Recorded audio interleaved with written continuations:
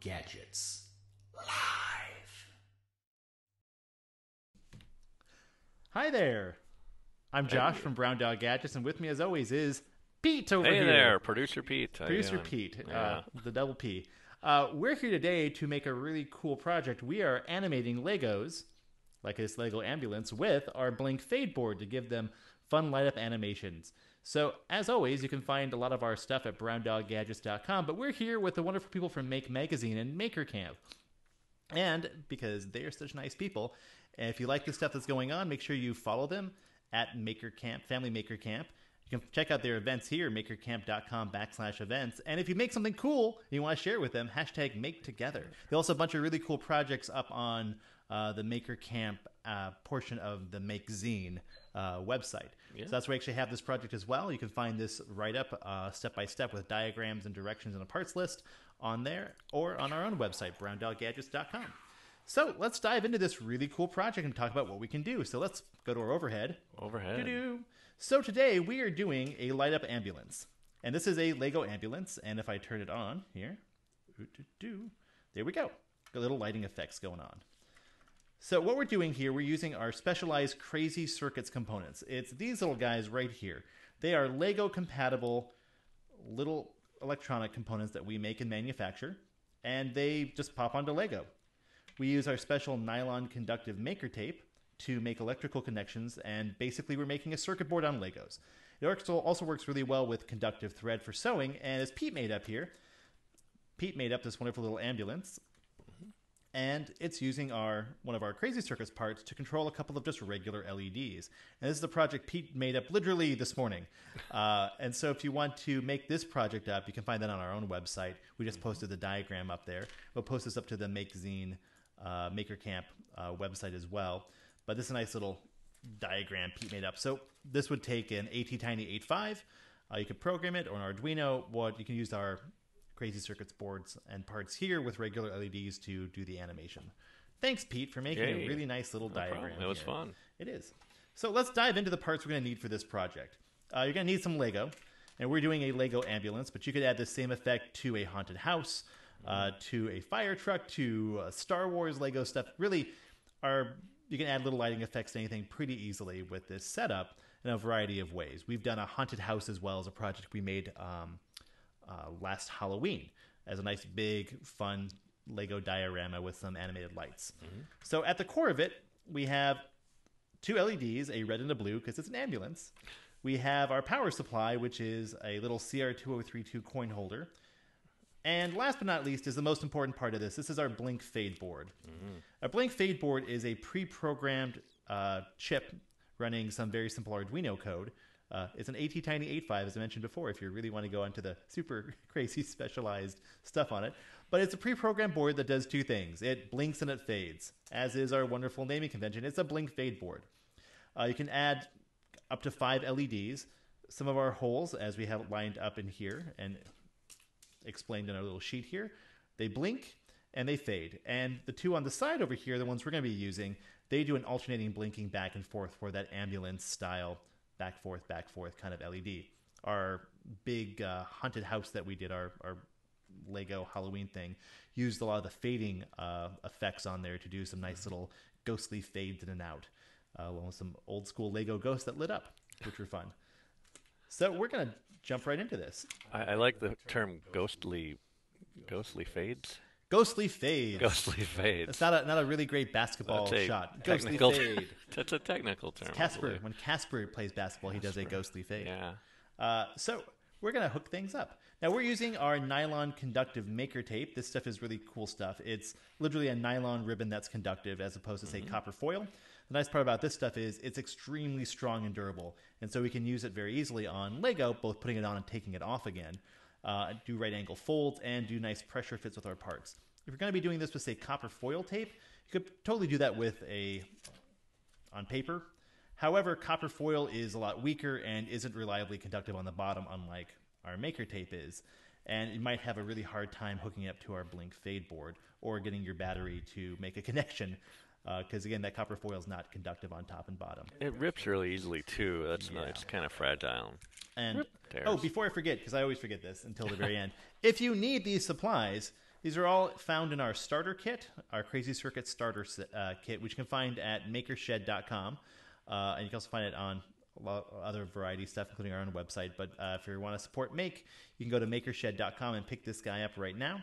And it has our blink fade board, LEDs, um, batteries, the whole nine yards, even a nice big Lego, green Lego base plate in there as well to make up the activity.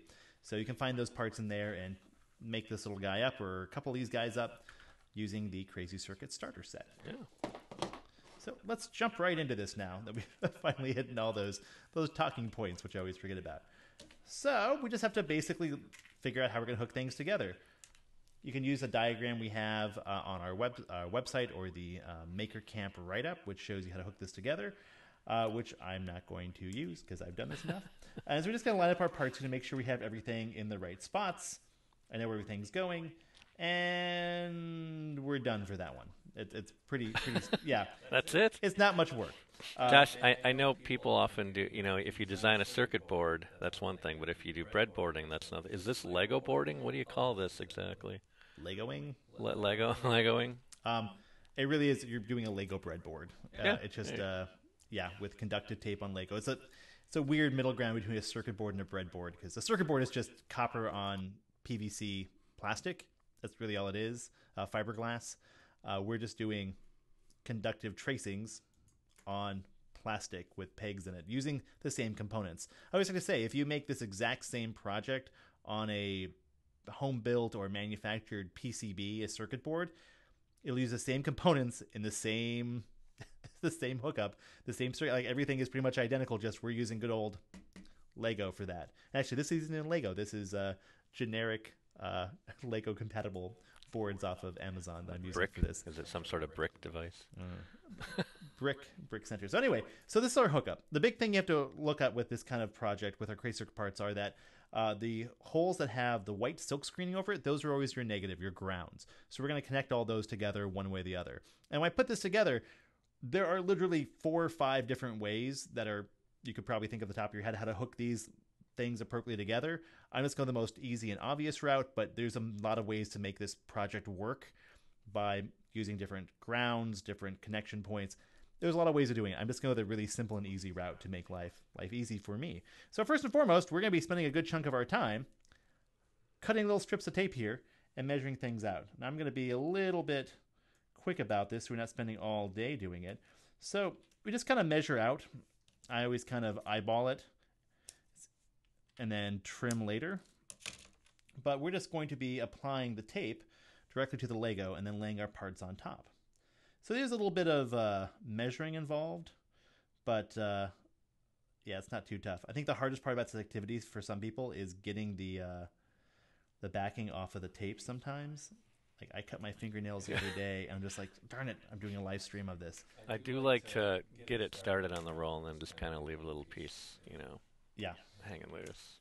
So there's this, and we have a. It's pretty forgiving too, and that's there's not have to be a super exact way of doing it. So I'm just applying it and pressing down with another piece or a piece of Lego to make sure we get a little bit of uh, indent in it before I apply my parts. And I'm just hooking my battery holder in a very easy way. My battery holder has our grounds on the side here, and the right side is labeled three volts for our three volts of positiveness.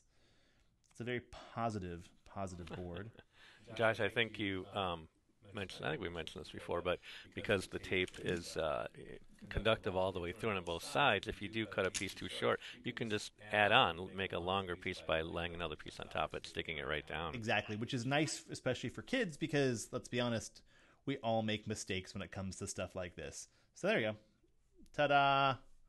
Now, if I was doing this on my ambulance, I would be doing the exact same thing up here. This is one I made literally years ago. Took it out of our, our uh, display area. It's really badly folded on a couple sides here, but it's the same approach. I'm using a battery holder down in here just for convenience of of making this.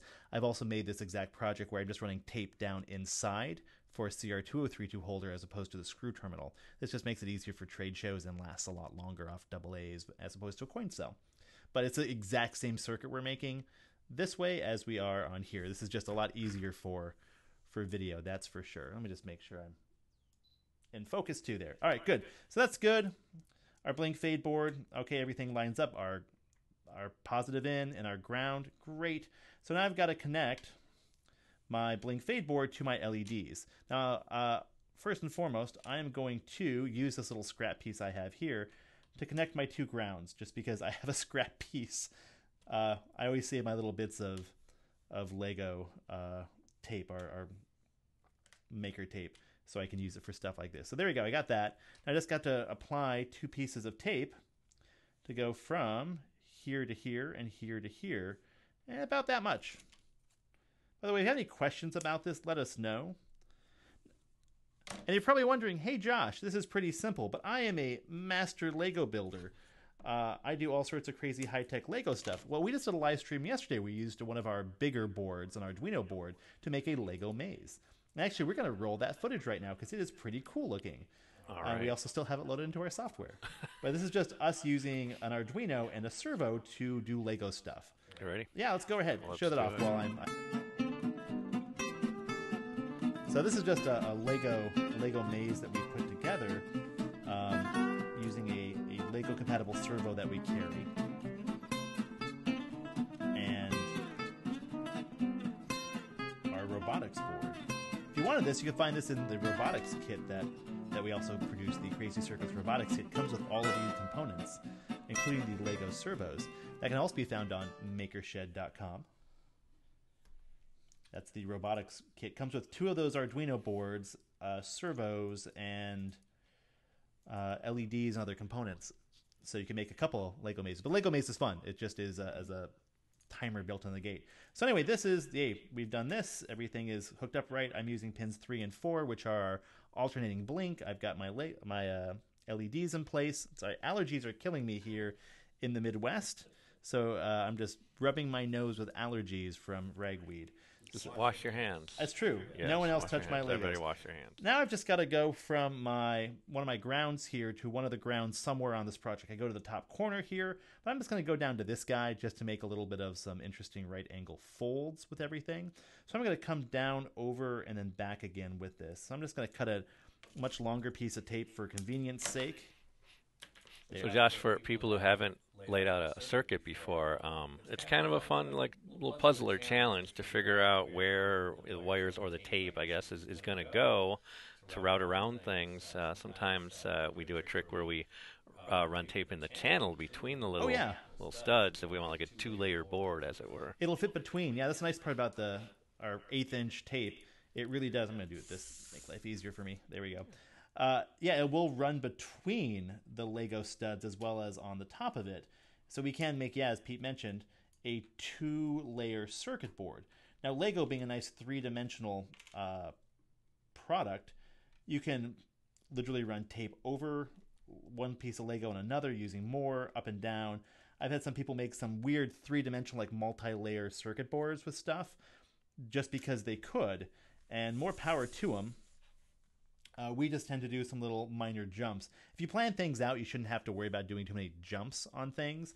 It's when you have a small area with a lot of parts, like we have a couple potentiometer parts, and just trying to line up several potentiometers in a row. The common ground is just easier to common ground in a channel, running off of that left and right, and that makes life so much easier for uh, for project building. So now I'm just going to take my last couple of parts, my blink fade board here, which is all yay, everything is good, pops on, put my red on, and again I have to make sure to just line up my positives and negatives. They're all properly oriented. Ta-da! That is literally the same thing we made here. I should say we. Pete made here. Pete, good job. It's Pete. we. we. We work together. There we go. This is the exact same uh, project. Again, Pete did it slightly differently. I'll move this here to the center a bit more, where he has his positive and negative. Then the negatives, co- or so the two positives here coming off the three and four holes. The negatives coming back out this way. I just it, there's so many ways of doing it, but it, it's the exact same project. This is the exact same project. Just it's different ways of wiring things up. Get that out of the way. So all I gotta do is add my battery here and Blank, blank, animation. Blank. Yeah. I have added simple animation to this project. Now, if I wanted to go further, I could use that robotics board and have a nice full-on Arduino. We have a couple different programmable boards with different features, and we have a microbit board coming out later. Uh, but this add easy programming, easy lighting effect, easy easy servos, add sensors in. Um, and even that um, that Lego maze uses a metal ball bearing, which activates acts as a push button. It runs over a couple pieces of tape side by side. When it rolls over, it activates the the program. Gate goes up. There's so many ways you can do this. So many ways. Uh, so before we go, any, uh, we finish things up. Uh, we'll go to a close-up view. I just want to show the Blink Fade board up close on our close-up camera. Close up camera. Here we go. Close-up camera. Yeah. Yeah, it's actually working. Yay. so many problems with our close up camera. There we go. But you can see there's not a whole lot going on. We've got our 0, 1, 2, ground, uh, positive ground, ground at the bottom, 3 and 4. And this is, yeah, just a little pre programmed chip. It works. Can we see the bottom as well? The bottom And has, that's a that's a surface mount uh, chip, right? it is, as So, opposed nothing to on the bottom. our jumbo LEDs, which are actually through hole. Yeah. um, nicely soldered by some factory workers. Uh, we we don't do that anymore. It's, but even on the bottom, you can see we have those rings on the bottom. So we just that's where the nice strong connection, and actually the inside of these holes too are plated copper. Yeah. That's where the um, the pressure fit connection happens with the Crazy Circuits components. So there we go. Yeah. So that that's the project. That's uh the whole kit and caboodle. What else we got? Any other Yeah, questions? we have a lot uh, of people making comments. Um, yeah, we had. Well, someone said we got a little bit of uh, echo from two mics, but I turned Echo, it down. echo, I turned turned it down a little. That's why Pete's an Uh, amazing producer. He's like, oh, Yeah. We got Timmy Timmy seventy three. Howdy everybody. hey Tim, Yeah. Oh, this is you'll like this one. This is a good comment. those are some very nice red and blue dots. That's a great And comment. That says Thank me, a colorblind person, saying, "You go red and blue." Those are definitely colors. yeah. Uh, What else we got? Carlos is a great gadget. thanks, Carlos.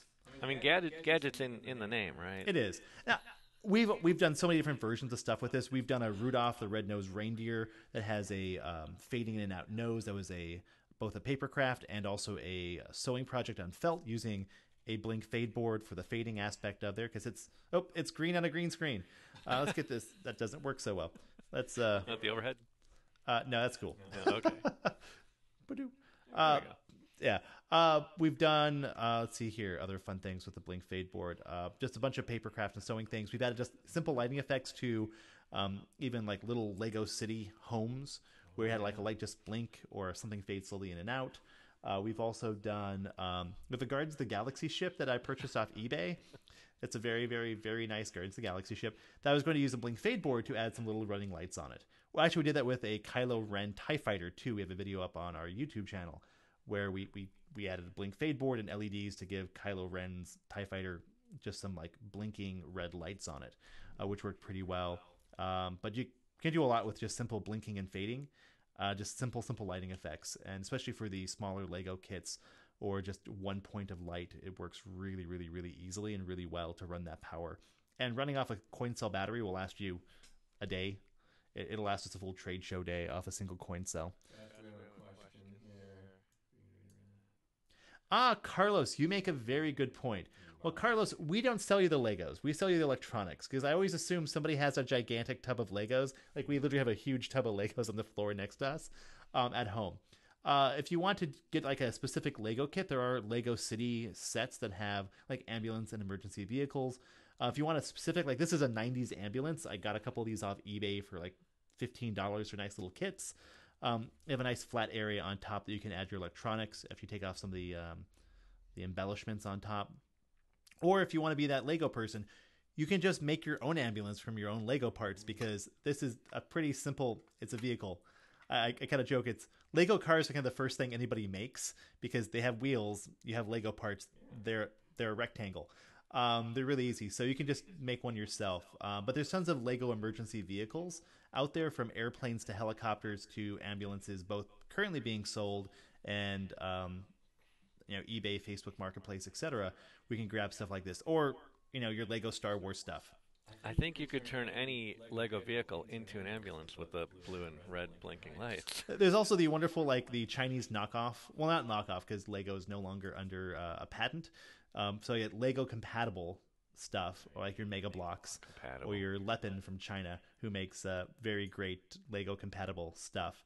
Or the board I have down here, which is from Strictly Briks, I believe, here in Wisconsin, uh, Appleton, Wisconsin. I think they're nice people. Um, but you know, you can get all sorts of Lego stuff. I know the Lepin company has a ton of emergency vehicles. They're they're Lego compatible, just Lego figs that look different. Um, but uh, I always like like Lego Star Wars or sci-fi stuff looks really nice with blinking lights on it. Yeah. So people put a lot of effort. I know there's a huge market out there, Carlos, um, especially on eBay for like the high-end Lego stuff, like taking like Lego uh, Ghostbuster Ecto ones or Star Destroyers, and then adding like a hundred dollar lighting kit with little tiny LEDs and Yeah. it's an insane amount of work. Like they're adding lights inside to the Lego bricks. Yeah. Um, that's way too much work for me or most people. And I always tell people like if you're a kid or an adult, you wanted to add some simple lighting effects, you can hide these runs of of conductive tape. We've done that with projects where we've just run it between the studs or behind things. You can do a nice job of hiding things, and it's easy, it's simple, it's inexpensive is the big one. Yeah. And you have to you don't have to spend all day worrying about little tiny, tiny, tiny, tiny LEDs with little tiny like hair thin wires. Um, but I mean, we have an Ecto one on table in the other room that we're going to add some LEDs to just for fun, like blinking lights like this, maybe a light on the inside, making a Slimer light up. Um, but yeah, you can just add LEDs to anything, or we have piezo speakers, the uh, mo- um, servos. We got a lot of things you can do. It just depends on what you're looking for. And yeah, we don't like selling anything beyond um, these Lego base plates, which aren't going to show up well because green screen. That's right, they don't. Uh, Josh, what what other color LEDs do we have? Well, Pete, we have a wide range of LEDs. In fact, we have actually seven LEDs um, these seven. days. We have in our big 10 millimeter ones, these uh, big ones, um, big gumdrop si- sized ones. We have uh, blue, green, white, and red. We also have a color changing one as well, which wouldn't work with a blink fade board because it just add power. It changes color naturally. Right, right. Uh, we also have surface mount versions of these, like nice little thin flat ones, which work really, really, really well if you're using um, clear Legos. So you can put one of those below a clear Lego, and it makes it light up really well. Yeah. And we have uh, white, blue, green, red, and yellow. Eventually changing that to color changing.